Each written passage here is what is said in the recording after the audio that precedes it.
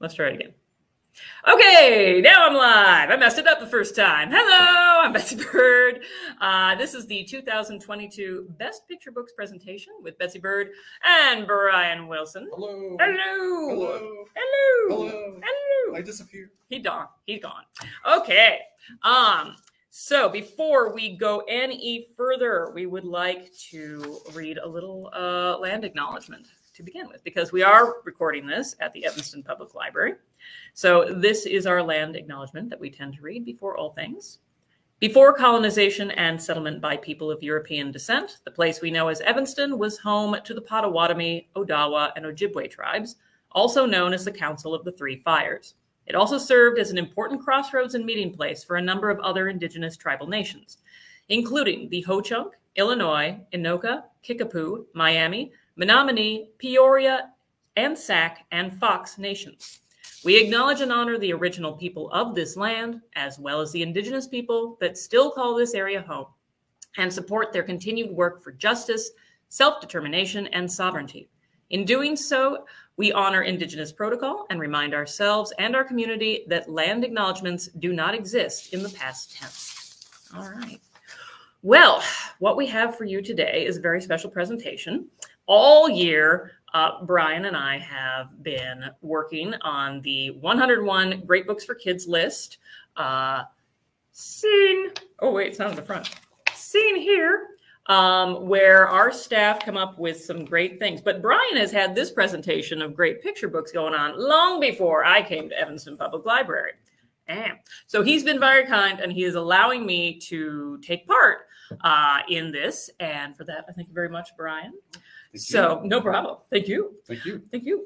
Uh, so what we're going to do today is we are going to start off with Brian talking about a lot of the books that he is very excited about that came out in 2022.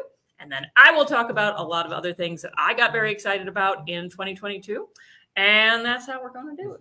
Sound like a plan? Sounds definitely. Sounds All fun. Sounds fantastic. All right. I'm going to hand this over to Okay. you then. Oh, I know. power It's like now. so much. I'm controlling Facebook. You're Facebook is totally in charge of I'm Facebook Just now. kidding. No. And as he talks, I'm going to try to uh, put comments in the Facebook of what the books are that he's talking about. Yeah. I'll try to hold up the cover so people can see as well. Yeah. And um, yeah, I want to give a special shout out to Anne's Book Club. That was a little group of um, caregivers, preschool teachers in the aughts that um, asked me initially to present this, starting back in the late aughts. And Rick Kinnebrew, who used to work at the Evanston Public Library as an outreach librarian, um, who invited me to speak to them. So it's been kind of going on for quite a while. And when Betsy started here, I invited her um, on her blog, uh, A Fuse Number Eight Production. She gave a shout out to this presentation without one. She wasn't working here. She didn't know who I was. And, and so I thought that was really cool that she gave this presentation a shout out. So that's why I invited her. So we've been kind of Yay. ever since. Yay. All right. I am going to present my favorites in alphabetical order by title with some exceptions. There are a couple of, there are some surprises along the way. And so the first one I want to present is Berry's Song by Michaela Goade, who is the Caldecott winner for We Are Water Protectors. This was her first book as an author as well as illustrator. And it's just absolutely beautiful. It's about um, a grandmother and child, um, and it's the Tlingit tribe and up in Alaska. And basically, it's about foraging. Like they go out, they look for berries together. There's a connection with the land, with each other, and along along the way, there's a song um, that with all the different berries names in there. Just beautiful, beautiful shots of nature in it. What I love about this book is at the end, you see the the child teaching a younger sibling um, about it as well. I think I'm gonna move a little bit. There we go. Okay, there. Okay. Um, and basically, it is like a, a an older sibling teaching the tradition to a younger sibling as well, and that's what I love about it. There's excellent back matter in the book, and it's just just absolutely beautiful. One thing that really connects a lot of the books this year is this sort of there's a lot of nature books, a lot of getting back outside, um, experiencing the outdoors. You're probably going to see that a lot with a lot of the books I'm presenting. I don't know why that's it just seems to be a trend. the next book, if you want to do a drum roll, at I'll do a drum home, yeah, if you want to do it at home, even, um, is Big Truck Little Island by Chris Van Dusen. Um, he did like if I built a house, if I built a car, and of course the the Mercy Watson books. I love this book because it's based on a real incident. There was a little island off the coast of Maine where a truck got stuck. And in this book, in this version of the book, what I love about it is it introduces a bunch of kids in various cars who need to get somewhere, like to, to dance practice, to a sporting event. And you see, and Chris Van Dusen's um, is very economical, like shows like the thought bubbles, like I need to get here. And you can see the kids thinking about where they need to go to. And the, the adults are panicking, the truck driver's panicking. As you see here, the poor truck driver um, was very Chris Van Dusen. Um, and you know, you see the truck that's stuck. What's great about this book is that the kids come up with the solution. And I won't spoil what the solution is. You know, if you've read the book, you know what the solution is. But it's absolutely wonderful, like how they they come up with it. Very hilarious illustration, like this girl's thinking about her stinky dog. They're trying to get to the dog, you know, clean up the dog here because it needs to get to a bath, and you know, just very comical expressions. Here are the kids coming up with their plan, and it's just also I a lot of what I recommend works has worked for me in story times, and this book, as you can see, has great giant giant illustrations that show across the room.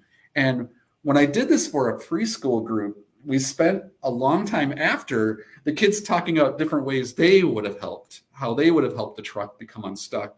Their solutions were awesome. Just back up, go really fast, jump over the truck, the stuck truck. It, was just just amazing. Um, so it kind of like it's a good prompt. It, it, it kind of like how would you have solved the problem? Yeah. All right. Next book is probably more for older readers, and it's blue. Um, and it's by Nana Ekua Brew Hammond, um, illustrated by Daniel Minter, who's a Caldecott honoree for going home, going down home with Daddy. He's just becoming one of our favorite illustrators. I mean, he's just phenomenal. And this is a really interesting book because it takes the color blue and it goes through a history of it, a very global perspective of where blue came from as a color and his illustrations are just just absolutely gorgeous. I know there's a glare on the page a little bit um, but get make sure you see this book and um, and look at the illustrations up close. He you know just beautiful. And her writing is so gorgeous in this book. Just very lively and very evocative. And also it t- taps into blue as a feeling, like the blues and singing the blues. And it doesn't sugarcoat history, it gets into the history of enslaved people and how they were used to to get the color blue out of various sources and indigo.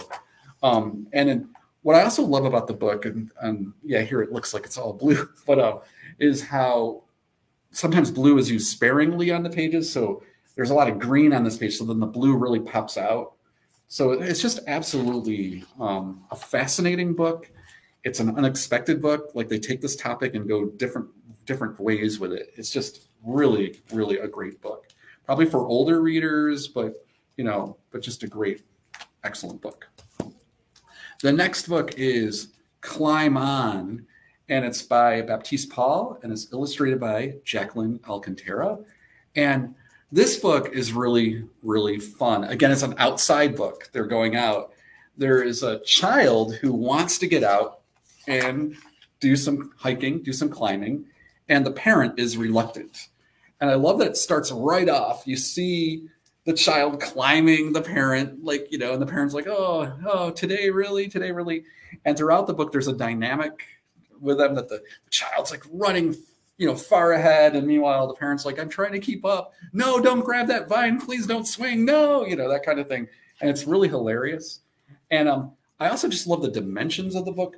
This team worked on a book called The Field, which is um, about football, you know, soccer. Um, and the dimension was very rectangular and um, and really looked like a soccer field, like a football field. This one has high, you know, it goes up high, like they're climbing up, they're climbing up we're looking like we're so high above them and we're seeing the birds, you know, from above. Um, but just really great. We get a lot of requests for books that are set in the Caribbean. and um, and this is um, a Haitian book. There's words in Creole here, and and Baptiste really brings like a you know his own experiences from living there, and Jacqueline did a lot of um, research on what the landscape looked like. It's just an absolutely you know just a beautiful book. Oh, there's there's the child swinging. You know, it's really great. Cool.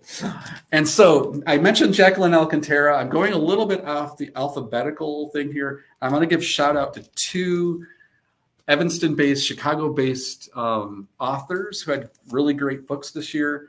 Um, brand new Bubbe, Bubbe um, by Sarah Aronson, illustrated by Ariel Landy. Um, it's just really, really, really fun. And it's about a, a child that gets a, you know, has a new um, I guess, step grandmother and has to get used to her and doesn't really want her around, but it's but then learns to love her. And there's a lot of food in the book. Don't don't read it when you're hungry because you're going to want to really eat. It's just a really really great book. And Sarah is just such a great writer and such a great advocate for other writers as well. She's you know really involved with SCBWI and she's fantastic. The Most Haunted House in America is by uh, Jarrett Dapier and illustrated by Lee Gatlin. And this is based on a real experience. Jarrett, who lives in Evanston, I've kind of known him for a long time. Um, he is a drummer and an amazing drummer. I saw him in a show once. Um, he was fantastic. And he was invited by the Obamas to play at a Halloween festivity. Um, and basically, there he has himself as a skeleton in here and with his buddies. And basically, what he does is that after everyone leaves and they're left behind, they find out that the um, White House is extremely haunted. And very lively illustrations, very fun. It's good for like Halloween story times. And Jarrett's use of language is just fantastic. He's an actor, so he always like he told me once that he rehearses his books while he writes them, and it gives the um, storyteller a lot to to play with. So two two shout outs to Evanston based other I mean, yay, Evanston. More nature. The next book um, is The Depth of the Lake and the Height of the Sky. This is just absolutely gorgeous by Kim Jiwon. And it is absolutely gorgeous. It's wordless. Um, I love um, really intricate art, um, like art that when you read the artist's note, like how they created this art, um, it's amazing. Like the te her technique is incredible. But basically, it's about a boy who has traveled um, to a country house, a rural house, and has um, kind of taken a little bit of a path to the lake. Well, thank you. Okay. And um, and just the expressions and just being in nature and kind of like, you know, very sepia toned and just excellent, very very immersive, very immersive illustrations that probably aren't like maybe you know showing as well on the screen, but when you get it, when you see the book and then you read about the technique, um, you just can't help but feel impressed. Um, it's just an absolutely gorgeous book. Speaking of more nature, um, Emile and the Field. This is by poet Kevin Young, and the art is by Chioma Ebinama. And I absolutely love this book. And what's really cool is that, yeah, she lives, she doesn't live in the United States. I believe she lives in Germany. Um, but she is Caldecott eligible because she um, was born in the United States. Um, but this is a book about a boy who loves a field so much near his house that you know he doesn't want to share it with anybody at the end but it's it, and his father teaches him at the end like it's okay to share what you love in nature with other people. It goes through the seasons. The poem is absolutely beautiful um, and as you can see from the art here it's just very immersive. You can feel this book. You can smell it. You can you can hear it, and you can see it, and it's just absolutely beautiful. And there's a twist at the end that's actually there's a little tribute to um, Snowy Day at the end. There's like an image that reminds me of Snowy Day, um, and it's just an absolutely beautiful book. Emile in the field. Kids love firefighters. They love fire engines. And at the end of the year, this year, we had not one, not two, I'm sorry, not one, but two. not one, but two.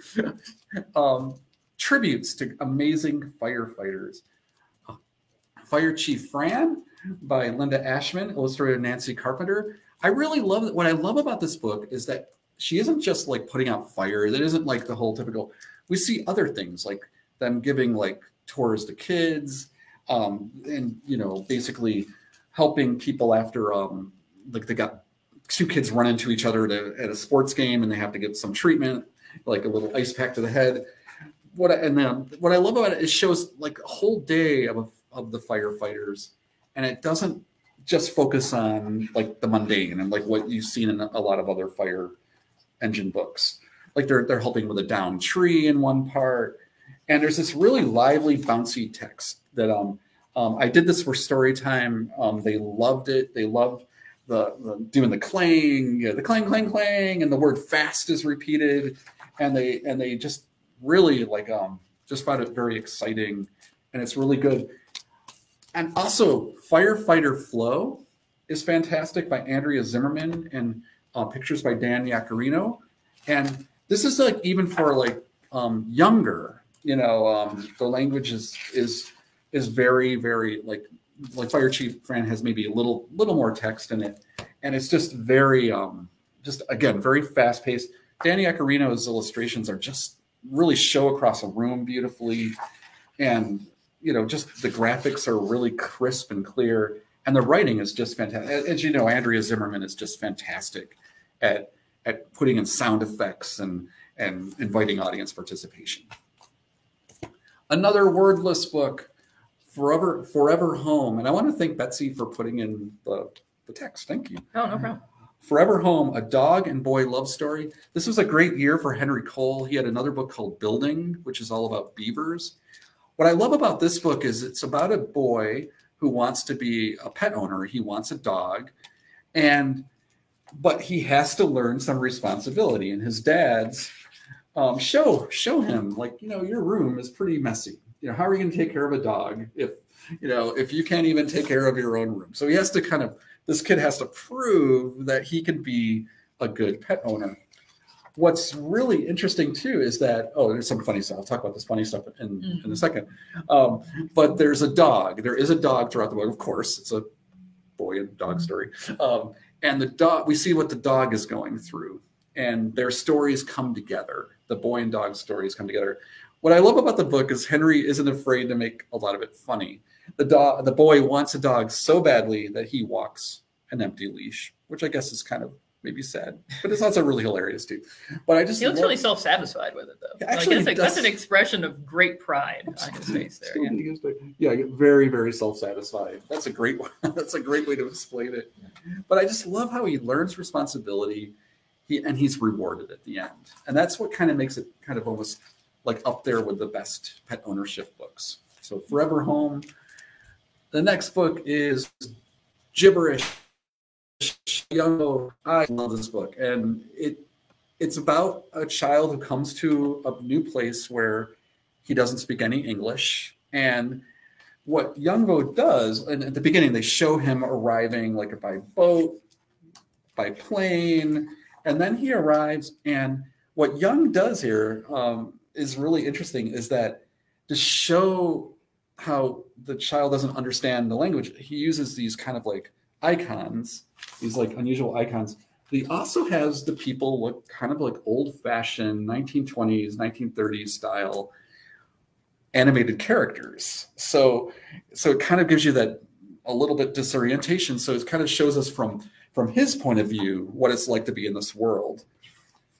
And so you see him struggling in school, and Young Vo really knows how to use panels and knows how to use um, quick snippets and, and graphics to show the passing of time or to show disorientation.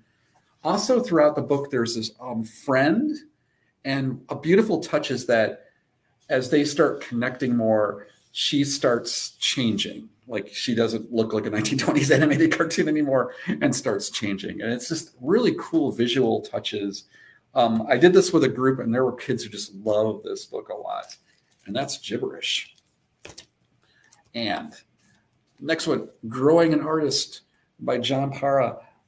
This is a personal story. Um, uh, John fictionalizes the story, though. He um, it's more about you know a, he enters as a, a, different character than himself. But when um, John was growing up, his his Mexican father was a uh, landscaper, and basically takes him around and shows him what he does. And John, who love um, not John, the boy who's the stand-in for John, Right. um, loves to draw already, and the the family sees that, and they bring him in as an artist, and um, he starts creating blueprints um, for the designs, like practicing how to do blueprints. It doesn't sugarcoat the story. The boy encounters bigotry. Um, there's a lot of classism in the book, and also, um, you know, this this kid is just kind of look, looking down on John Standen, and basically, what I love about the book is that his talent is embraced. He learns. He's brought into the family, and that way. And I love how the family celebrates his book, um, his uh, his work um, as an artist. So, growing an artist. And the next one, I'm Not Small by Nina Crews. This is a really, really um, seemingly simple book. Nina, as you know, Nina, as you know, mostly does like like kind of stylized photographs. If you've seen a lot of her books in the past, but what she does here is like digital art, and it's and it's but very texture digital digital art, and it's about a boy realizing that some things are smaller than him and some things are bigger than him, and it's done in a very like straightforward, you know, with a very straightforward text. And I just love how the concept is really just really clear. This tree is bigger than me, but I am bigger than this bug. Um, just very clear. Um, I did this in story time, and, and the kids the kids really related to it, and they really liked it a lot. So I'm not small. I think it's time for another drum roll. Yeah. All right. I can do that. A little tribute to Frank Morrison, who has he's just it's just been an incredible, incredible year for him. I think he's had like three or four books out this year that were absolutely incredible as an illustrator. Um, in this case, he's also the author. Um, when I saw Frank talk about this book on a, on a webinar, he talked about how this is based on a real story where he wiped out on a skateboard in front of a group of kids, and he thought it was hilarious. So he made he turned it into a book that's actually about self empowerment and about um, about you know connecting with a new group of friends. This boy is nicknamed Epic, and he's moved into a new neighborhood. He has killer skateboard moves, except when he's now in this new place, things just go wrong. He falls and he stumbles and he feels like he's lost his self identity. Like he's he's like, oh no, am I still this amazing epic skateboarding person? And then the second half of the book is him his father, oh, his parents give him a pep talk. His dad gives him a pep talk. And then he goes out. He's doing his amazing skateboard moves, and kids start noticing him. And they, um, and he starts realizing, oh, there he is, dreaming, dreaming about his skateboard moves. But he's out there. Oh yes, and he tries different sports. It's absolutely Oh, I hilarious. love those sports. Yeah, very very funny. That's me trying sports. Yeah. Yeah. Oh yeah. yeah, Yeah. yeah, That's yeah. definitely me. a Yeah. whole- Definitely. That's a whole. Definitely the football part. That was yeah. That was my hmm junior high experience right there and being flattened. Oh, no, there he is. Well, there, there, there he is. Still getting used to this camera. There he is. All right. Um, he's, you know, um, but I really love that he he finds that he can be true to himself. His parents give him support, and he makes good friends at the end. And it's just just a beautiful book by Frank Morrison. All right. Drum roll, please. Yeah. this is Luli and the Language of Tea and it's by Andrea Wang, who um, received a Newbery honor last this past year for Watercress, and it's pictures by Hyewon Yum. And this is another book like gibberish. It's a book about a, a child who ends up in a situation where she doesn't speak the language of the other people. In fact, this is an English as a second language class. It's kind of hard to. Whoops, oh, there we go an English as a second language class where no one speaks the same language. And Luli finds a connection between everybody, and that's tea. You know, and um, yeah, I mean, I'm not spoiling it. It's called Luli in the language, but it's but I just love how like people are often like school teachers and um, preschool teachers are looking for books about community and and kids connecting with each other, and this is just an absolutely beautiful book where you know the child comes up with the solution and it's very warm. The illustrations are just very like warm and round, and um, and they kind of like everyone just kind of comes together. And um, so I just you know just a beautiful book. I did this for story time, and they and they just absolutely loved it. This is a last minute addition. I just added this book to the presentation this morning. Um, Me and Muhammad Ali by Jabari Asim, um, illustrated by A.G. Ford. Another running thing I'm seeing, like presenting these books, is that a lot of books are based on personal experiences. And this is actually based on Asim's mom's experience. Um, Muhammad Ali came to town once, and um, in this book, this is kind of fictionalized. This book, um, this boy named Langston really wants to see um, Muhammad Ali, but when they get to the place where Ali is going to be, everyone's like laughing and talking about Muhammad Ali and how great he is, and, and doing the moves. Um, but basically, what happens is that there's they're being kind of turned away, and then not to, I'm not going to give away the surprise, but Muhammad Ali comes out and saves the day and and creates this experience for for this mother and child that's really incredible. I love A.G. Ford's illustrations. They're just so there's just so much movement and there's and very expressive and warm and really speaks to young children. Um, and this is just a really great personal story that I'm glad he shared. All right, next one, Mommy's Hometown. This is by Hope Lynn, Hope Lim, excuse me and illustrated by Jaime Kim. And this book I really love. It's about a mom who tells stories about her childhood home in Korea. And basically they're going to go they're going to go see the town and so there's these expectations built that it's going to be that the town is going to look exactly the way it did when mommy um, grew up it was very rural when mommy grew up you know they could go into the stream and they could go through fields but when they get there to do to see grandma. They find out that it's actually been like it's changed a lot. It's like a little more urban. There is a little house still there that's the same. And I love the blending of past and present. And I love that even though the child is disappointed and the mother is disappointed, they still find a way to, you know, find a happy way to solve their emotional um, disappointment or whatever and it's just just a beautiful book and i just love the way the, the it just kind of blurs um, the past with the present and and and also shows a parent and child playing together and just it's just a really really good book. And kids understand this book. When i did this they totally get it. It's like wow. Because they've had situations where they expect something when they get there it's it's completely different. Oh yeah. Just a great book. Night lunch is the next one by Eric Fan of the Great Fan Brothers, um, and pictures by Dena Seiferling. And this book just has, it's just born to be read aloud. Um, Eric's, it has a very soothing rhythm to it, very simple. It feels like a classic story, you know, like drip, drop, coffee's hot, noises sniff, noses sniff the air, noses sniff the air.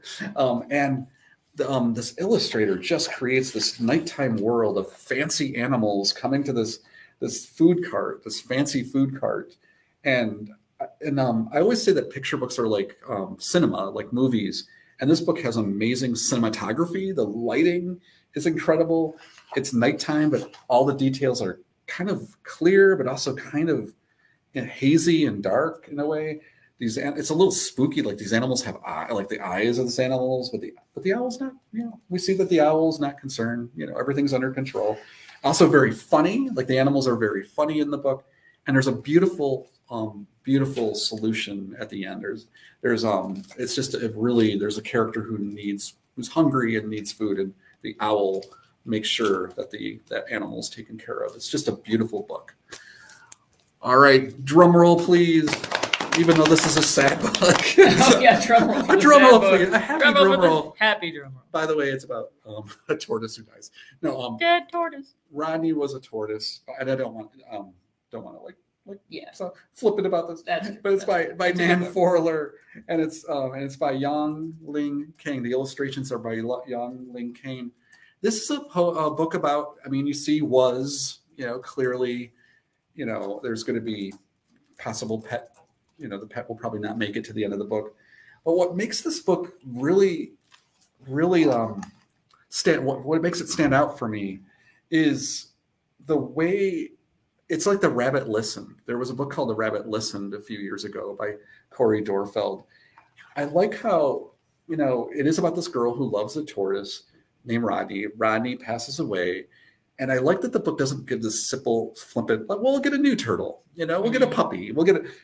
You know, it goes through lots of different emotions, and and there's a like a thing with empathy where um, an, another child comes along and shares a story about you know said i liked rodney too and then also shares a story about a pet that died you know that they had. I just i just think that's a beautiful solution. I just think that it um and it's and it's just very emotionally resonant resonant. Resonant. Um yeah. So just a beautiful book okay okay now yes a drum roll All right. Okay, a funny book, a really funny book. Tiny Spoon versus Little Fork. This is by Constance Lombardo and pictures by Dan and Jason. I love comedy, humor books that surprise me, um, books that stick the landing, books that take a, co- a comedic idea and then f- fly, like they take the idea and then fly with it. And these characters literally fly. So, like, not, not by choice, they're thrown by the baby. But basically, it's about a spoon and a fork that's competing for the affection of a baby, that's learning how to eat like like on their own. And the spoon like talks about how important they are. The fork talks about how important they are. We get the history of spoons, and it's you know there's Grandpa Scoop and Cousin Teaspoon, family albums, and then fork has fork of course is more modern, has their family history on a on a tablet, you know, um, and there's I just love how this book comes together, how they're trying to one up each other, and then the baby surprises them by doing something rather horrific, and then and then they have to save the day. And meanwhile, along the way, there's a there's a stuffy, there's a, like a little stuffed animal who just is also a character, a character all their own, who's just a happy-go-lucky, ear bitten off kind of character, Yeah. um, who's just like, hey, this is my life, welcome to it, woo! Um, but Constance keeps um, surprising you in this book, and Dan and Jason's illustrations are absolutely hilarious. So, Tiny Spoon versus Little Fork. And then a drum roll, please. I have a lot of stories about like parents connecting. Um, and this is Together We Ride by Valerie Bolling and illustrated by Kaylani Juanita, who's a Coretta Scott King Award honoree. And this is a seemingly simple story. It's the very, very like kind of like inside, you know, outside, you know, very simple. The illustrations are very warm and um, and I like how it's like they're almost like panoramic shots of of, of these characters. But there's a lot going on in this book. It's about a child learning how to ride a bike, and we get lots of questions about riding bikes and like kids want to learn how to ride a bikes. And it doesn't give you like a simple like she triumphs right on the first page. No, there are a couple of spills along the way. There's excitement. There's a crash. You know, there's a decision whether to go on. You know, a decision whether to try again. And but there's also like a lot of stuff going on in the background. The expressions are really powerful. The la- the words are very carefully chosen. It's not really easy to write books like this. It makes it's kind of easy, but it's really not. I love that the dog is one-eyed. It's kind of like Oh, it seems like a rescue dog, and um, yeah, just a beautiful, just a beautiful story. And um, again, going outside, family coming together, you know, um, kind of like a running motif in a lot of books I'm picking. So together we ride, and then, then the next one, yeah. And thank you if you, if you are doing the drum roll at home. I really appreciate that. Um, where is Bina? Where is Bina Bear? Excuse me. Where is my memory of the title? Where is Bina Bear by Mike Curato? And he is extremely versatile. This is the person who did all the way to Havana, the illustrations for that medal, and um, Margarita, Margarita, Margarita Engle book. Sorry, and um, and um, and also his Little Elliot books. The illustrations in here are very, very different. Um, like very, like almost like done at like markers and crayons. And this book is about an introverted bear at a party, and who doesn't really want to be there. I mean, I personally like. I mean, parties are okay, I guess. Um, so I kind of related to Bina a little Yeah. bit. What I love about this book is how witty, visually witty it is. That Bina um, kind of assumes different shapes through through the book and wants to hide. And this little rabbit's looking for Bina. And I don't want to spoil it. You have to see the book yourself, like the, the different shapes that Bina assumes to avoid this party. It's just absolutely really a sweet book, a sensitive book. It's funny, but it also it also brings in like um a feeling of empathy towards the end. And my last book is this part of the presentation is saving the grossest for last. Aw. Why not? Your birthday was the best. And if at home you can do a dun dun dun dun dun dun, Dun, dun, by Maggie Hutchings, illustrated by Felicity Felicita, excuse me, Felicita Sala.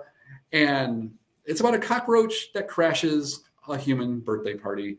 And what I love about this book is surprises. This book, like the Tiny Spoon book, just lots of comical surprises. It isn't just a one joke idea. It isn't like that the cockroach is on the cake and then they negotiate with the kids. Hey, don't want to. no, there's vacuum cleaners involved. There's old relatives involved of the cockroach, old relatives of the cockroach involved, and there's also a disconnect between the the language and the illustrations. And I love that. That you know your birthday was the best, and meanwhile there's like a kid crying. there's like a you know kids bugging each other, and there's a cockroach just who's going to kind of, you know, you know, jump into the party. And there's it's just really hilarious. You were so excited to see me.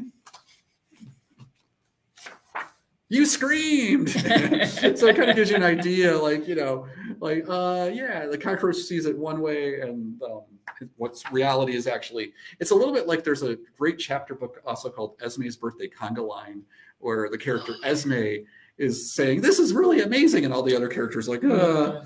So this book is hilarious. There's a sequel coming out. Um, there's a sequel coming out this spring um, called Your School Was the Best. Um, I just love that this book, no, I did not know where it was going at all. And when I read it to kids, they were just laughing hysterically. Um, so your birthday was the best.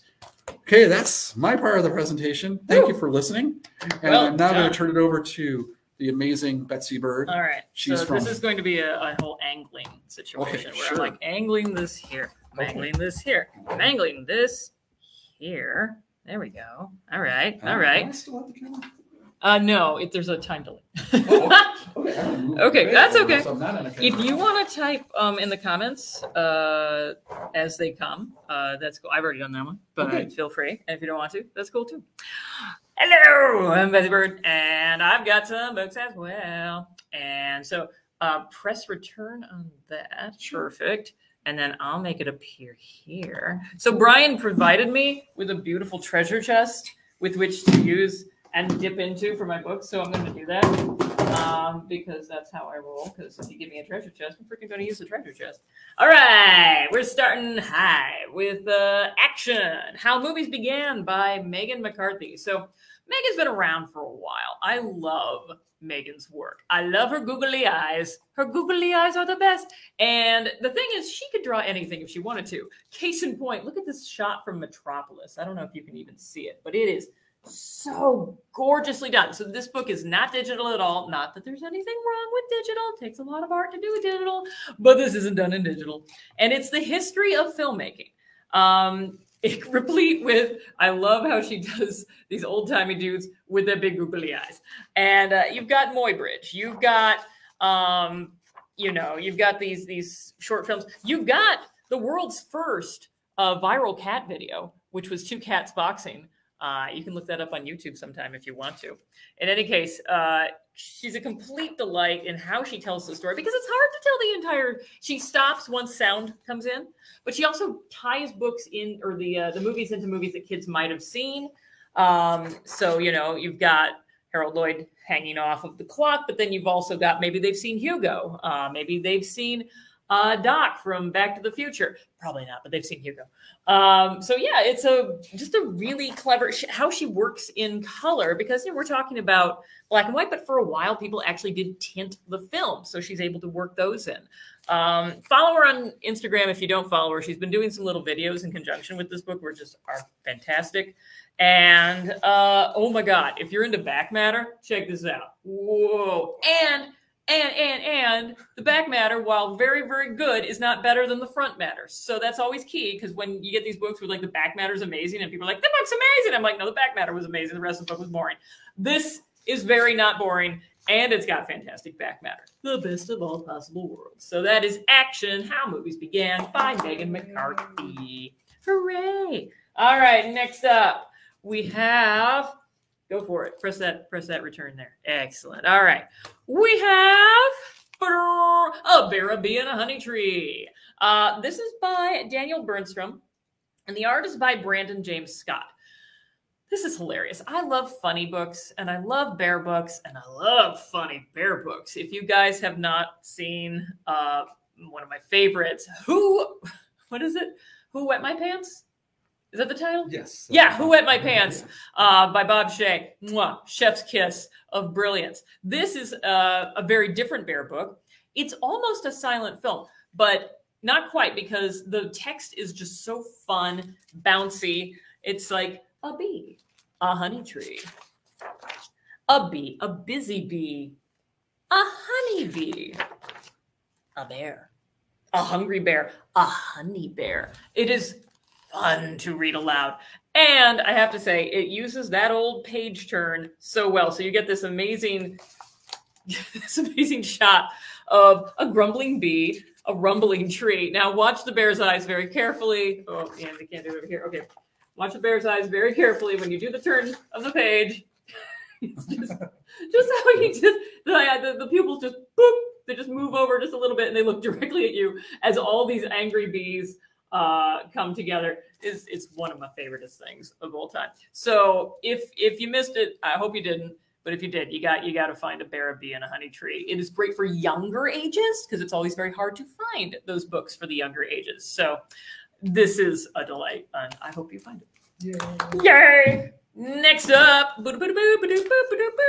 all right, this is Beauty Woke, and this is by NoNieqa Ramos.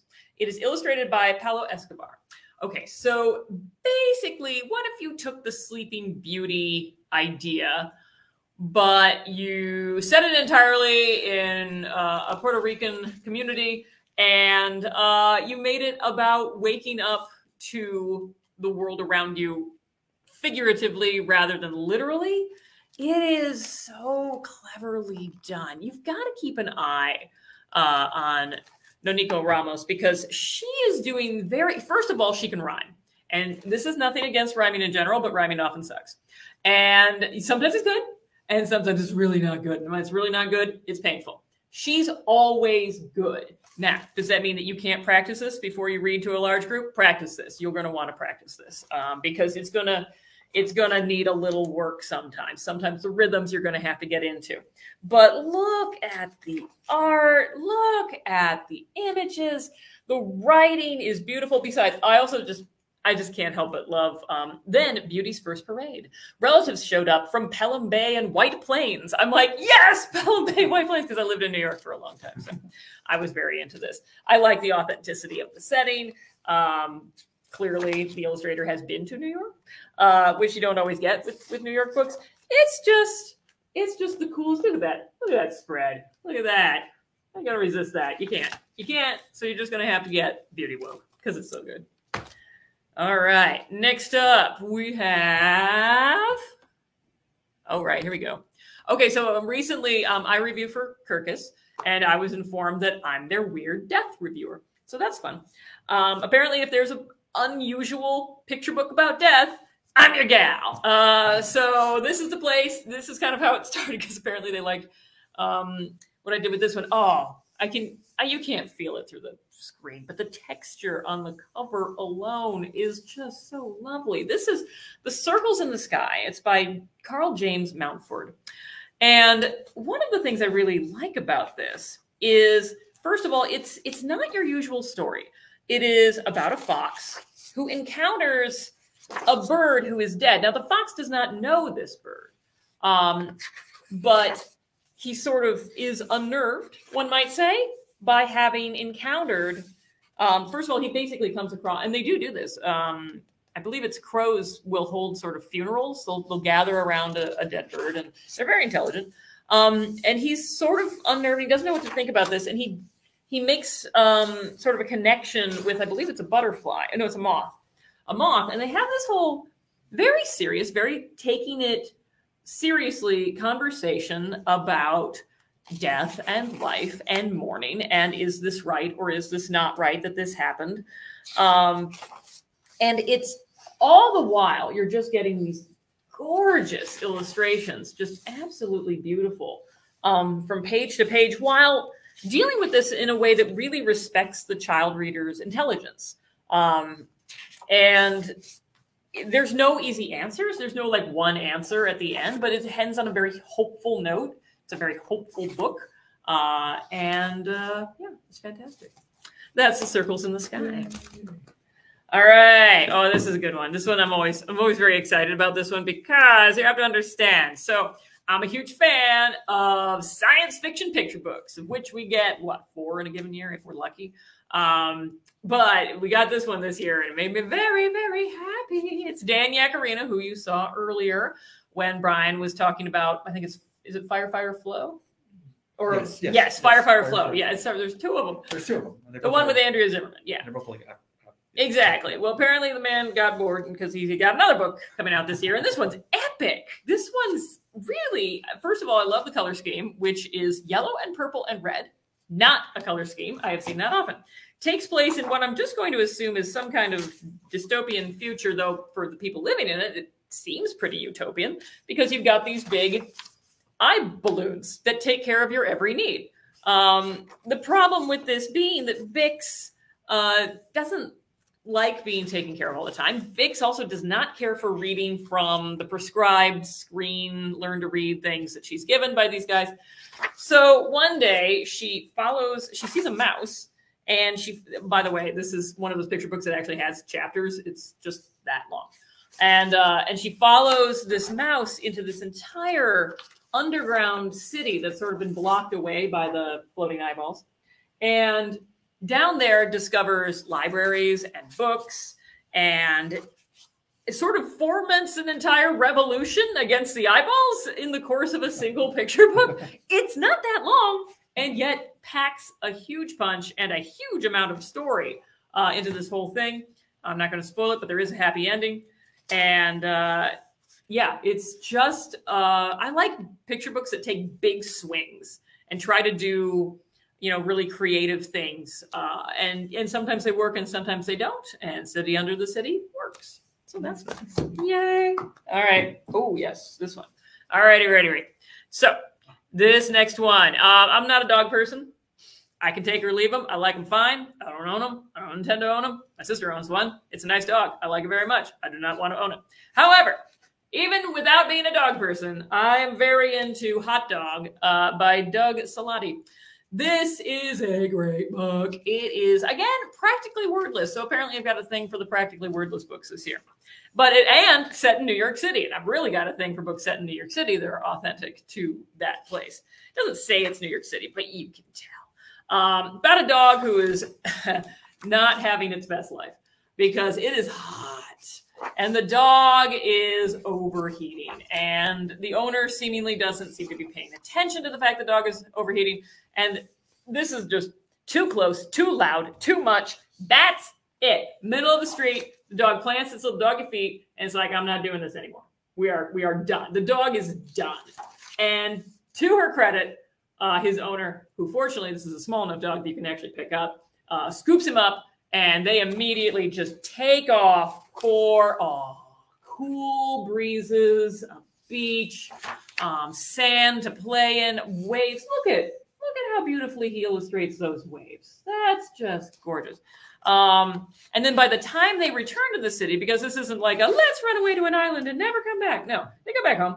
But when they go back home, it's cooled down. It's nighttime. Nighttime in the city is a much better place to be. And they go back to their apartment and they go to sleep. And I'm exhausted after this trip, but you know, you can understand that they are too. And it is just beautifully rendered. Um, one of the best picture books of the year. I'd go so far as to say. So uh, that would be Hot Dog by Doug Salati. Yay! Oh, but you know what I really love? I love me funny books. Um, and I would argue that one of the funniest author illustrators working today uh, does not live in the United States by no means. Uh, Shinsuke Yoshitake oh, the book I'm talking about in this particular case is I Can Explain, had another book out this year as well. Um, oh, what is it? My Rubber Band. I can't remember. What was the exact title? It was on our 101 list, so obviously. I won't give up my rubber. I won't give up my rubber band. Thank you. That was great. I'm also a huge fan of I Can Explain um, because I can explain. Well, it's just Shinsuke just really knows how to dig down deep into gross things, um, deeply abusing gross things. Um, so this kid's walking around. he's just got his finger up his nose, and uh, and there's a, there's a great sequence on the back that you do not want to watch before lunch. And uh, his mom is like, stop, stop, just, you know, his mom, first of all, who is clearly not just annoyed, but also kind of exhausted, is like, what are you doing? And he explains that there is a but- button uh, inside his nose, and he press if he presses it, uh, it releases cheerful beams that make other people happy. You can just see the mom.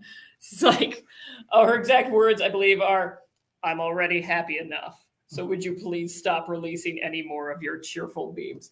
And uh, it just goes through all the small annoying things he does and his completely wackadoodle like explanations as to why he is doing one thing or another. I've always loved his style. Every single one of his books is a joy. Very few author illustrators like just hit it out of the park on a, such a consistent basis, but he really does. Um, and of course, my favorite thing is that uh, the end papers at the back are all the annoying things that the mom does.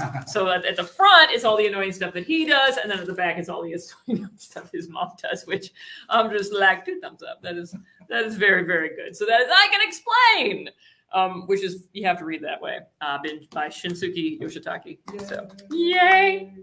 Ooh, remember when I said that I like books that take big swings? Uh, well, uh, this book took a big old swing. So we've seen books that talk about you know your your ethnic heritage and relating to usually one parent or another um, or your grandmother's culture or, or, something like that now the the Katha Chest um, by Radhiah Chowdhury uh, which is illustrated by lavanya naidu is really interesting because it's not just your parents. It's not just your grandparents. It's your aunts. It's your extended family. But the way to render this story is so it seems very basic at first. It's like, oh, she, you know, this little girl, she finds um, these quilts that are made out of old saris um, that her her you know, her aunts and, and her grandmother have made over the years. But then you get these four panel um, wordless stories for each one of the people being featured. And what's so interesting about this is that their stories are very, very different. Like sometimes you you get a definite sense of war um, with some of these stories. With some of them, you get like just out and out um, tragedy. Like this is the this aunt whose daughter died, um, and now she's a school teacher, and just the simplicity of it, just like you know, rips my heart out. Um, but each one of these um, you know, going to work um, independently, you know, maybe for the first time, a woman in the family who's done so. Um, it's just, it's just so well done. The art is good, the writing is really good, and it's an innovative way of telling a family story, um, which at the same time connects the child to the greater family. It's it's really clever. So the Katha Chest, uh, do not miss this. It is quite good. Oh, yes. Okay, so I had a chance to go to uh, the Bologna Book Fair in March of this year. And while I was there, I got to see all the art from around the world that's been honored. And they, they have a big illustration show of some of the best. And one of the books, not only that was shown, but that they later talked about, uh, was Madani's Best Game. Now, this is by Fran Pintadera and Raquel, Il, uh, Raquel Catalina has done the art. And this is um it just looks like another like soccer picture book, and you're like, eh, soccer picture book. Oh. Um, but no, in fact, it is very clever. Um, you've got Madani. Madani is the best. Uh, he is the best of the best of the best. And he never wears shoes when he's playing. And so, you know, everyone's like, his, his mom's always working, so she's not able to see his games.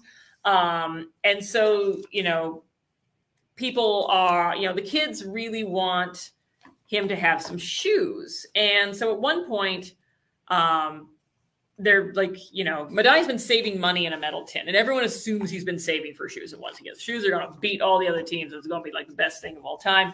And there is this twist at the end as to what he's actually spending the money on.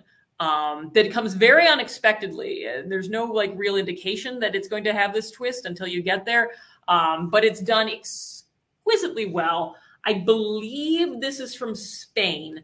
Um, and it is just a delightful book. So Madani's best game. Yay. Yay. All right. Oh, this was, you know, I started TikTok for the first time this year. Uh, I was like, oh, she'll do it. Oh, TikTok. Um, and then I started, and then I did this book which I think is like at 13,000 views or something absolutely freaking ridiculous. Not because of me, it's because of the book. My Fade is Fresh. It's by Shauntay Grant. It's illustrated by Kitt Thomas. If you haven't heard of it, um, you should because you know how Crown was really good. And in fact, Derrick Barnes, who, who wrote Crown, uh, has a little blurb on the cover. But this is not Crown. This is a very different book from Crown because you look at this cover and you're like, oh, it's just like kid goes to the barbershop and he's proud of his hair and that there's nothing wrong with that storyline. But we've seen that storyline a fair amount. This is a little girl going to the salon, and she wants a fade. She wants a fade, and everybody in this salon has an opinion on her hair. Everybody. She, you know, the you know, a perm, a press, a trim, a chop, and she's like, and it's also rhyming. Of course it is. I said and shook my head. The freshest fade up on the block. And boy, getting that fade is just really tricky because people have a lot of opinions on her hair. And it just sort of like builds and builds and builds and builds and builds and builds until, you know, it's actually the girl doesn't have the breakdown. I think it's the barber who has the breakdown where she's just like, everybody stop talking. I'm just giving her fade. And uh, oh, I absolutely adore uh, this book. It is fun to read. It is delightful. And yes, she does get her fade. She gets her fade at the end of the book. So it was a happy ending as well. So yay, my fade is fresh. It was a good book. Um, again, love, love, love, love my uh, my funny books. Um, this one apparently, and I did not know this, but I, I talked to one of the authors on it, Emma Hunsinger, and she said that uh, she was very inspired by Jules Feiffer, um, and but and Harry Harry Allard, um, the Stupids books, and I really thought that was interesting because this is my parents won't stop talking. Uh, by it's by both Emma Hunsinger and Tillie Walden. It's not written by one and illustrated one. They sort of merged their styles together for this book, and it is a hoot. Um, apparently, it was written during COVID, so it is about this girl who wants to go to the park with her moms. And that'd be great, except, oh no, oh no, what happens? Her moms see the credenzas, not the credenzas, the credenzas. If you want the best writing of the year, read what the parents are talking about in the background of this because it is like literally, you know, do you know a good garage for an oil change? I don't know if the kids are old enough for a spiritual bath just yet, but it sounds nice. Um, these are like the worst grown up topics, like just all combined into one. It is so great. I love this book. And, the, you know, it basically, I like any picture book that descends into chaos uh, at some point. And this definitely, she basically has a break with reality. She She's like, well, if we're not going to the park, I, I could be the park. I can be the swings. I could be the slide. I could be everything. And then, but of course, in the midst of this, her parents were like, uh, let's go. And she's like, uh, it is a great read aloud. And it is something that every single child in the world has dealt with. My parents won't stop talking. So, yay. Ooh. I also like books where I don't quite understand what they're saying, but I like what they're doing. Um, Sergio Ruzzier is having a good year. Uh, and this one, no, said Custard the Squirrel. Uh, I don't know what this book's about. You can assume on your own end what this book is about. He's not going to tell you. He's going to leave it to you to determine what this book is about. Basically, uh, right here in the yellow, this is Custard the Squirrel. Boop. And this is a little diapered rat who is trying desperately to get Custard the Squirrel to admit that he's a duck and to the squirrel's not going for it. And the little rat's doing it like Custard the squirrel. Will you please quack? No, said Custard the squirrel. and it just keeps going to the point where the rat finally, um, by the end, uh, sort of comes around to to what uh, you know Custard is Custard's view is, but you also kind of get the feeling that the rat still doesn't quite understand. It's really interesting. You could use this a million different ways with kids. I don't even know, but I just love the tone of the darn thing. It's just delightful. Uh, so that is no. It's a custard the squirrel. Yes. Ooh. So on our 101 list at uh, Evanston Public Library, we're not allowed to include board books because you can't place holds on board books at this particular library, and therefore we don't want people to not be able to get the books that they want. So if we did have board books on the 101 list, this would have been on it. Uh, this is Odd Birds, Meet Nature's Weirdest Flock by Laura Gehl, illustrated by Gareth Lucas. Now, not the first book in the series. They already did Odd Beasts, seeing boop, boop, right there. But so good. We've seen a lot of these STEM board books, and I'm sorry, y'all, they pack them with text. They're not for little kids. They're for five year olds who do not want to get anywhere near a board book. So I find them kind of useless. This, however, is for little kids and it's STEM and it's awesome. The this seabird has a pouch. This booby has blue feet. This shoebill's beak is huge. It goes on like that. By the time you get to the hoatzin, which is smells like poop, it's fantastic. But now look at the back. Look at that. Look at those. Look at those photos. Woo-hoo. Beautiful photos of every animal well, bird that you've seen in there. Did you know that that oil birds use echolocation? I didn't know that. And uh, so I'm learning stuff, and it's also got cool things. And yes, there's a lot of text back here, but that's for those kids who actually want to know more. And if they don't want to know more, if they just want the basic text, the hoatzin smells like poop is enough to satisfy them. So there you go. And that is fantastic on birds. Uh, mwah. Love that book. Yay! Ooh. This one's a nice one. I believe I am correct when I say this is Hungarian. Um, this is Pina by Elif Yemenici. And this is a very good post COVID book, uh, or rather post lockdown book, I should say, because Pina does not want to go outside.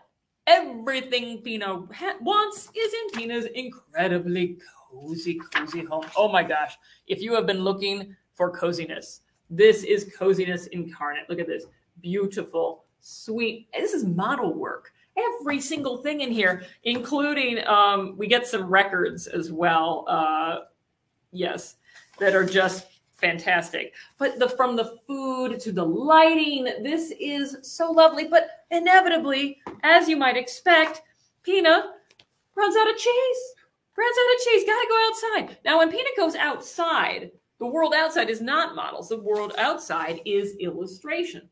Um, and so Pina's got to navigate this like scary. Look at look at little Pina. Ooh, look at those eyes. Does not want to go out there, but does go out there, and it turns turns out it's not so bad. It's actually kind of nice, and there's like kind of nice people out there, and maybe you might try something new. And so it's uh, you know you still get the feeling that going to be spending the bulk of his time inside. But sometimes you get stuff outside that you can't get inside. And it's a really nice link. So, yay, that's Pina and it's by Elif Yemenici. Hmm. Yay! Ooh. All right, so when I was a kid, uh, I watched a lot of Sesame Street, and I watched a lot of Buffy Sainte-Marie. Buffy Sainte-Marie was a folk singer. Um, she was, I believe, Cree, and she uh, was Canadian as well. And she did a whole sequence on breastfeeding that was like way ahead of its time. Imagine trying to do that on the HBO Sesame Street today. Just think about it for a second. Yeah, it's not going to happen. Um, but she did it, and she sang songs, and she was awesome. One of her songs, uh, "Still This Love Goes On," uh, is turned into a picture book with Julie Flett. Julie Flett, who wins things, just all sorts of things, not American things because Canadian. Urgh inconveniently Canadian, as I like to say. But this is great. So I'm not usually a huge fan of the picture books that you buy new parents that are just like, you love your baby and your baby loves you. Love, love, love, love, love. That's fine. Parents love them. Babies could not care less. This book is quite good. Also, it's a song, so you can link it with the song. You could read it with the song if you wanted to. And look at some of the art that is going on inside of here. It's just beautifully illustrated, really nice. Look at that. Oh, gorgeously done. And the words work as a picture book because that doesn't always work. I remember when uh, the Simon and Garfunkel, uh, you know, it, it's all happening at the zoo was turned into a picture book, and then it was like, and you know, the zookeeper loves rum, and they named the raccoon Rum, and I was like, no, it doesn't. No, no, just give it up, guys. This actually works. It's beautiful and lovely, and who wouldn't want to like read just read this anyway? So yeah, you you got to get your hands on. Still, this love goes on. It's it's delightful. Ooh, this one was so difficult to get my hands on. I had it earlier this year, and then it kind of like disappeared, and now I, I finally got a library copy um, because oh, this is really really good. Okay, this is the very best Sukkah. It's a story from Uganda. It's by Shoshana Nambi, and it's illustrated by Moran Yogev. Okay, so there is a, a segment of the population in Uganda uh, who are Jewish, and this could be like sometimes when picture books introduce you to that fact, like that's the plot. Like, hey, these people exist. Boop, boop, boop, boop. That's not the plot here. The plot here is quite good. So every year in her village, uh, Shoshi and her brothers try to make like the best decorated uh, Sukkah. And this year they think they got a they got a pretty good lead on it. They're like, yeah, we're gonna do it this year. We're totally gonna win. Oh, but then there's that neighbor who was saving up and he got freaking electric lights on his Sukkah. And everyone's like, oh, he's totally to win. But then there's a horrible storm and it knocks like that particular Sukkah, like complete flattens it. And then people got to kind of like figure out what they're to do uh, to help out. And maybe we could all not be jerks about this. Uh, it's really good writing. It's really fun. Um, you know, we're always looking for uh, world Jewish content, not just American Jewish content. So it's really nice. You've got to take a look at uh, the very best Sukkah, a story from Uganda, um, if you can find it, um, because it it's it's fed. Buy it, just buy it. I mean, it'll just be easier that way. It's easier. Yeah. Yay! Yay. Oh, okay. So this comes to the portion where we've got a uh, we got we got some books that we're doing together here. Mhm. Uh, uh, uh, uh, uh, History is being made. I'm going to go. History's being made. Okay, there we go. Hello. Do, do, do. Hello. I'm gonna steal that from you though. I just, Meow. I just Okay. appeared for quite a while. Yes, you were gone, and now you're back. Now I came back. Yes, exactly. All right. Do you want to you want to do the first of the uh, of these things that we're doing together here? All right. yes, these are books. We I we love pretty much all the books. Oh yeah, yeah, yeah. There was nothing I did here where there were- Brian was like, "How dare she mention that book? I hate then- that book." Yeah. But there were three. There are three that we just we both loved, but we couldn't. We were trying to flip coins. We were trying Yeah, to exactly. We're like, we're like, no, well, let's talk about them together. And the first one is Night Owl Night Owl by. Christopher. So Denise. good. So good. It's basically about a little owl who wants to be a knight. Yes. Hence the title, Night Owl. It's sort of a giveaway. Kind of a giveaway. Yeah, kind of And- giveaway. But the and I just love this is like um I compared this a little bit to um Mel Fell last from last year. where- Ah, yeah. where it's seemingly about like a very silly, funny topic, and yet the art is also just so beautiful. Yeah. It's funny. So you have the like the giant knights, and then you have the little Little, little, little, little, bitty compared to the giant knights, and and basically goes through um it goes through night school and becomes a knight, and then is put on night duty, and all of a sudden. All of a sudden, starts hearing scary noises Yeah. in the night, and what could it be? And I love the eyes. Oh, the eyes. The eyes are really Oh, great. And so it just like lots of surprises in it and and also just beautiful art. Yeah. Something's falling out of the book. And just some, you know, beautiful art in it and also just incredible, whoops, incredible dragon. Dragon, dragon, dragon. How Yeah. do I hold it? Here. It goes this way. Okay. It goes the Woo, opposite there we way. go. Yeah, dragon. Oh my gosh. The dragon's so huge it can't fit in fit on the screen. Can't even fit on the screen. Yeah, it's just such a great book. And and Betsy, what what else do you love about Night Owl? I mean, I really feel like this is one of the Caldecott contenders of the year. Um, does great things with light. Um, and uh, I, I did have a chance to interview him earlier this year, um, and I asked him if he was uh, influenced at all by you know the Wyeths, um, Mhm. uh, particularly NC Wyeth, and he was like, "I am totally into NC Wyeth," which I could kind of tell because he's got this one sequence of the knights on their horses, and it just feels like you're in like if you were in like a children's room somewhere and this was like on the wall, you wouldn't even blink. you'd be like, yeah, of course, yes, that's a mural that shows brave knights going off with the teeny tiny little itty bitty owl at the bottom. So I love this book. He also reminds me in, in a really good way, like of David Wenzel. Um, yeah, who- who yeah, yeah. like yeah, very. I can like, see that. Yeah. Yeah, you know, Yeah. just a beautiful book. Funny, has a great ending. In story, it works beautifully in story time. I Um, agree. kids love the surprise endings, and just the, the fact that the owl's so little. I'm just trying to figure out like how he did the art, and I don't actually have an answer for that. I don't know if it's digital or if it's actually. Oh, there we go. Uh, it's done with Photoshop. Yeah, he's just really good digital artist, and you know we've gotten to the point where we just can't tell anymore. Came out early in the year, and we just fell in love Yeah. with it right away. I think it's I, I think it's sustained its its enthusiasm there. So yay! Okay, that's the first one. Let me hand you the next one. Oh yeah. Oh wow. Yes. Oh. Let me see here. Did I get it? Hey, there we go. Witch Hazel by Molly Idle came out towards the end of the year. Mm-hmm. She has another, yeah. And Should have been a little sooner. and it's really like an incredible book. As you can see i know it's glary. Maybe i'll open it up where it's less glary. Yeah. it's done with like um kind of like browns blacks and whites. It's it's very very um like very limited palette but very unlimited in terms which is unlike her because usually she does like very you know floral pretty pinks and purples and whites and things and this is a real departure for her but i think it's a it's a good departure for Oh, her yeah. yeah and it's about you know the a, a you know a child goes to visit an elderly relative Mhm. witch hazel and we start seeing the memories whoops memories yeah the here memories are in white and white is such a fascinating way of doing it and then they start like mingling. They start like the child, modern child, starts playing with the memories and starts, Mhm. You know, hearing the stories and starts becoming part of the story. And it's just really, just really incredible. Just Yeah. really inventive, and like I said, unlimited creativity here, and just just beautiful. Just a beautiful book. She does have some like she does love to do paper play in it. There's a nice, beautiful fold out.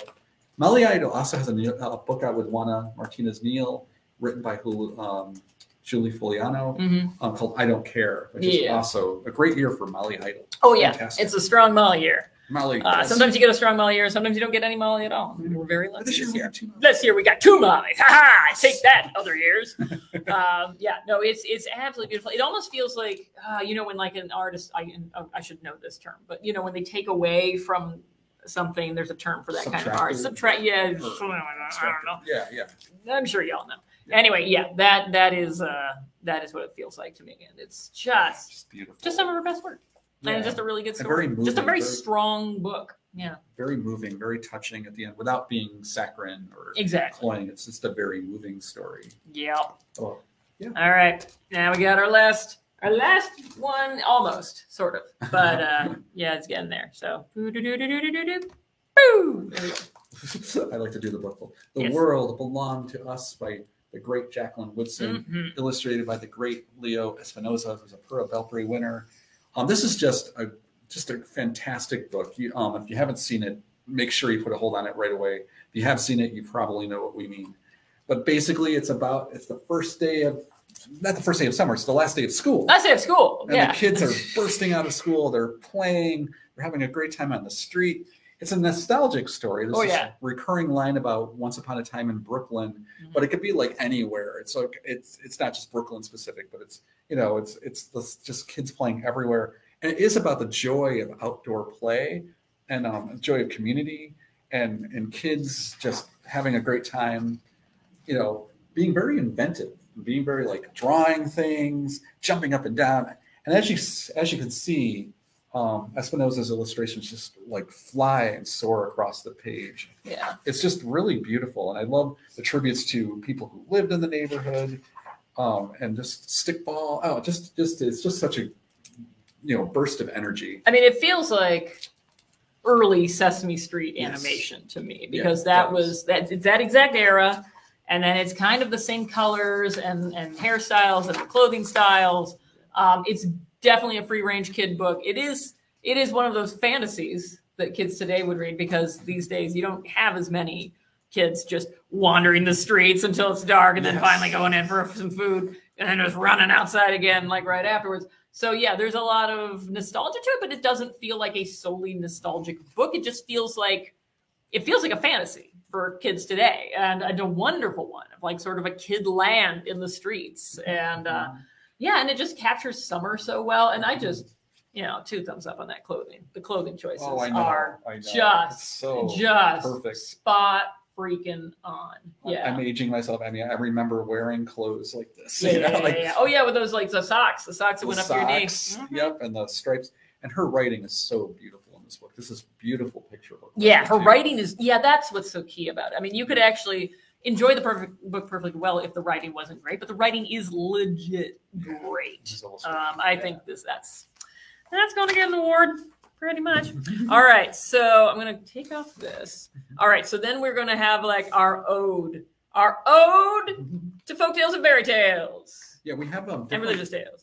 we have different sections in our 101 great books for kids and you know middle grade novels graphic novels nonfiction easy and early chapter books and this year was a particularly amazing year for the fairy tales folk tales and religious tales and we just wanted to quickly give a shout out to them Yeah. um, to uh to five of the books that made it um just because they were just incredible there was um Mhm. carry me back the town that walked and this was by david barclay moore and illustrated by john holyfield Yeah. um, That book Ooh. is really cool. It's an original folktale, which sometimes I'm I'm kind of like squidgy about. I'm like, man, there's plenty of good already existing ones, but no, that one's it's good.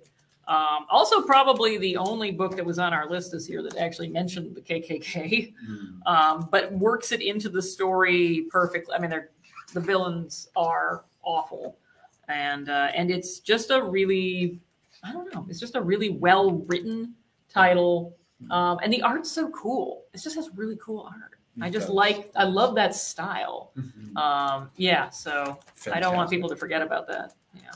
And then, um, and then this is kind of longer than a picture book, so we're cheating a little bit, but why not? Oh my God, it's so long. I thought I could read it like quickly, and I was wrong. I read, brought it to my lunch, and I was like, I'll read other things too. No, uh-uh. I was like, for what, like 40, 45 minutes, I'm going through this book, being like, oh, what if I do this? What if I do this? You know?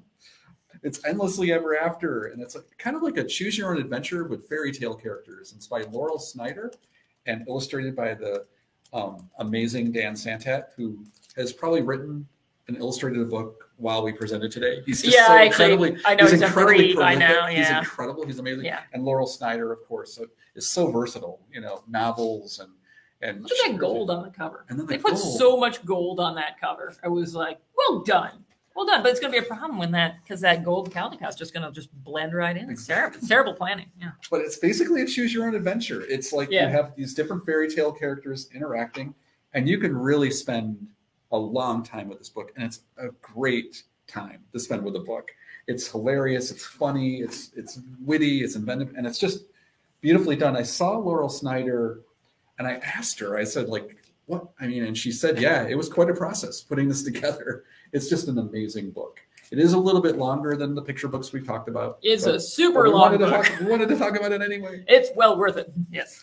And then another great folktale, The Legend of Gravity. Mhm. It's kind of more of like a, in the tradition of a folktale. Oh yeah. A yeah, tall no, basketball no, it's a tall tale. It is a, a tall legit tale. tall tale. a tall yeah. tale. But Charlie Parker, this is a book about a, uh, an amazing kid who is just incredible at playing basketball. And it becomes cosmic, it becomes Yeah. wild, it becomes, um, and I just love his art all the way through. It really works. Yeah, just, Yeah. he's just incredible all the way through, and the writing is fantastic. And we saw this really early in the year. I love this. This is all the different like players and what their Yeah, their different abilities are. I love it. Yeah. yeah, just an incredible book, and um, just it was a. cont- I mean, it, we knew it was going to be in our 101. list. Oh, The uh, it was- second we saw it. You know, Yeah, the minute we saw it, we were it was sort of doomed to be on the list. We were like, yeah, no, there's no there's no question. It's it's extraordinary. and then this is probably the longest book we're talking about today. Oh, I think. yeah, Well, yeah. maybe- maybe- I don't know. I actually think the, the Dan. Santat, yeah, it might have been a little longer. I'll Yeah. let Betsy talk about. Oh, goody, goody, goody. Okay. This is the real. So this is the real Dada Mother Goose. So the thing is, if you show this side to a certain generation of people, so many people are like, "I had that Mother Goose book," and like you might, I, I had it, and I didn't even remember I had this until I saw this. Um, so the fun thing about this is that this came out, I believe, in 1918. This edition of the of the Real Mother Goose. um, and uh, which means it's in the public domain. and uh, also in 1918, it was the birth of Dadaism. Not a coincidence in this case, because Jon Scieszka is returning to his Stinky Man roots, and he is uh, taking five of the fairy tales from the original The Real Mother Goose, and then with Julia Rothman, who's probably best known for doing like New York Times illustrations and things like that. You know, she's this is she hasn't done much with children, but they just they just take these things and then they they change them in so many different ways, and every way is different. He never repeats. And it's like you have to go through the back because they've got all there's secret codes and there's pig Latin, there's haiku, and there's a Jabberwocky, and then there's N plus seven. You know what N plus seven is? You will now. I, hieroglyphics, anagrams, rebuses, musical notations, the military alphabet. I mean, it is. The thing is, I was reading it with one kid who was eight, and then the 11 year old came in and she could not tear herself away. And we were just going through it. My favorite, of course, I think it's the Twinkle Twinkle Little Star sequence. Um, twinkle Twinkle Little Star. Now we know just what you are. A luminous ball of gas, mostly hydrogen and helium, held together by your own gravity to producing light and heat from nuclear fission reactions in your core. Twinkle, twinkle, little star. Now we know just what you are. It's funny. It is a great uh, book, and uh, yeah, impossible to get away from. So it's good. amazing. It's amazing. So unpredictable. You didn't know what you were going to get next. No. you know? And then But it'll be fun. another amazing, and probably the last book we're talking The about. this, last book of the day. but the and um, but just an incredible book that end on. the three Billy Goats Gruff, and this is retold by Mac Barnett, illustrated by the incredible Jon Klassen, who is a Canadian who lives in the United States, so he can win Yeah. Caldecotts. So and he do. and he does. And But he this do. this book, oh Betsy, if you want to, this is Oh yeah, this book. Okay, so first of all, I love the original by Bjorsen. Uh, so this is in Norway, so it's not the Grimm brothers. It was Bjorsen and the other dude whose name I always forget. And uh, they collected a lot, involved a lot of goats and involved a lot of trolls in their collection. But this one's probably the most famous. Uh, and in this story, it tells it straight, though very funny. So Mac Barnett has so much fun with uh, the the troll just like going on about how you going to eat those goats. And he's like, I love goat. Let me count the ways. A rump of goat in honey glaze, goat smoked, goat poached, a goat pot roast, goat smorgasbord, goat smeared on toast. Yeah, it is. And also, it makes me really hungry for goat, um, which I don't think I'd find edible usually. There is a visual joke in this book. So, you know, we all know the original story where it's like the first Billy Goat's small and the second one's a little bigger and the third one's like the biggest of all.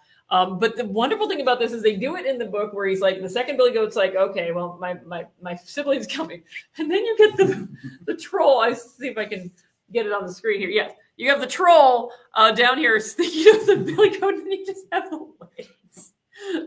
Just like that just that just wrecked me. I absolutely adored it. So yeah, uh, it- it's a straight retelling. Uh, so if you're going to catalog this, uh, someone asked earlier, where would we catalog um, the real Dada Mother Goose? Would you categorize it under nonfiction Dewey? Where did we put it? We put Oh, it. Mother Goose stories. We put it under Mother Goose stories. Three nine eight point three. we did. It's kind of a fractured version, but you know, we're fine with it. Uh, this also would go straight up in the the fairy tale section. So look for it there. Yay! Oh, and I have to offer a correction. Um, could you get the the Muhammad Ali book out because I wrote the wrong. I somehow Oh, sure. my mind just wasn't thinking because it wasn't on the sheet. Brian added it last minute. Oh, Um, added it last you totally added minute. it last minute, and so I wrote the wrong creators on the screen, and I Oh. realized it while you were talking. I was like, ah, shoot. Uh, me and Muhammad Ali. It's actually by Jabari Asim, who's been around for a while, making those really good board books a while ago, um, and illustrated by A.G. Ford. And you mentioned A.G. Ford, and that was the moment I was like, oh, I put the wrong people. Oh. I'm making the book, so that's who actually. Yeah, I grabbed this. I I, I was like, "Oh, I want to talk about it. And it was like literally like five minutes before. Or, Exactly. So it's Ah, on me. But what you do. I, this book is just amazing. It's beautiful. It's I a great it. book. All right, well, that's Thank the uh, the end of our presentation today. As I say, uh, if you go to the beginning of the comments, if you're watching this on Facebook, uh, or just at the beginning of I don't know I don't think it'll show up in the recording, but if you if you are on Facebook, you can go to the beginning of the comments and you can see the link to the 101 Great Books for Kids. If you Google it and put in 101 Great Books for Kids 2022, it'll come right up. You can even get a PDF if you want to, and it's a beautiful list. Uh, some of these books are on there. Not all these books uh, are on that list. Some of these Yeah, are we just went- our pet favorite ones. Yeah, we went off. We went off the list. List a little bit. Put our own favorites on there. did. We went for deep cuts. You know. Yeah. Oh, and if you live in the Chicago area, we will be giving this presentation live. Uh, spoiler alert: it's the same book. Um, and uh, that'll Well, be I might add more at the last. what? No, I'm cutting you off. You've had enough. Uh, and we'll be doing that on December 3rd uh, at Evanston Public Library for the public. Uh, you might want to reserve a slot because maybe 10 it'll a.m., yeah. 10 a.m. You might might fill up. And you can always email like us, like um, I'm Brian Wilson. It's B Wilson at cityofevanston.org, all lowercase. Mhm. And then, I'm ebird, B I R D. yeah, at cityofevanston.org. Yeah, if there are any and you can questions about the contact if you have any questions or if you're like, what was that book you were talking about? Because uh, didn't quite catch the name. Um, because it was at the beginning before I figured out how to do the comments. thank you so much for yeah. watching. And thank you, yeah, for being part of this. thanks for watching. and. Betsy, thanks again. No problem. Thank Yay. you, Brian. This was fun. All right. Thank you. Bye. Bye.